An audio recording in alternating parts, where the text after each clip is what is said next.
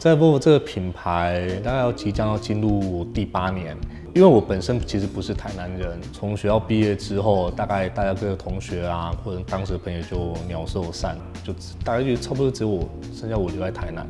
那我可以说，从毕业之后，呃，进入社会，我的周遭真正的所谓比较呃友好的关系啊，比较 close 的关系，几乎都是车主。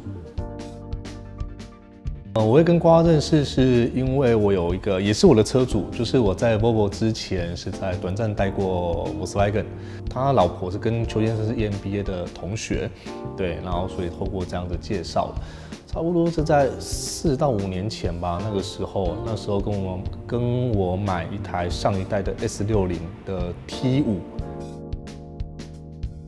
他们从有第三个小朋友开始哈，其实。呃，我大概其实大概就可以知道说，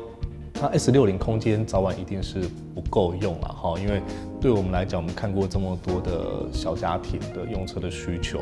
当然他们自己本身对于修旅车，他们也会来做一些体验跟研究，但是对邱先生的夫人来讲，也许是呃体质的关系，所以他们对于修旅车的那种晃动感。是比较不舒服的。在一次邱先生他们本身去德国出差的时候，在 local 也有租用那个 V 九零，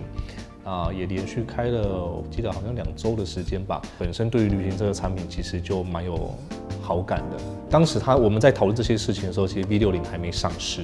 那 V 六零上市的时候，其实我还蛮开心，就是说，因为跟上一代比起来，这一代 V 六零大很多。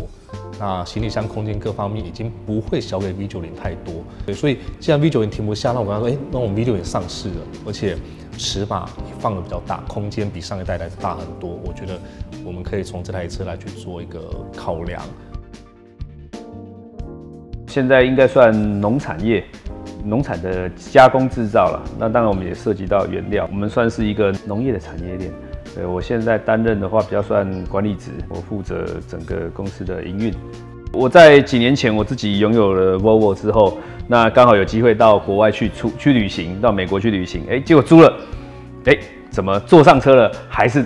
Volvo？对，那个时候只是换了一个环境，就是车窗外的风景不太一样，但是因为那时候车子租赁车有交换车，结果哎换完车之后。马上开始怀怀念起 Volvo，因为最主要是 Volvo 的座椅的乘坐舒适度真的很高了。不论是我家人的车或什么车，其实开完之后，你会最怀念的，除了油门跟方向盘之外，最怀念的是那一张可以挺着、可以顶着你的那个椅子。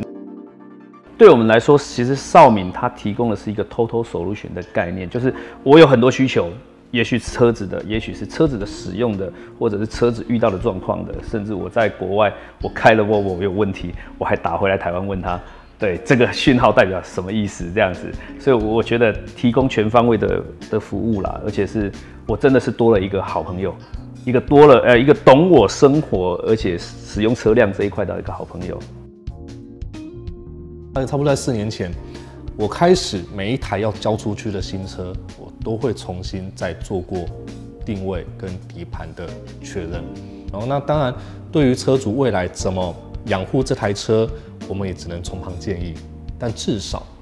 对身为一个业务的责任，把车弄到最好交你手上，我觉得至少要能够完成这件事情，这样子。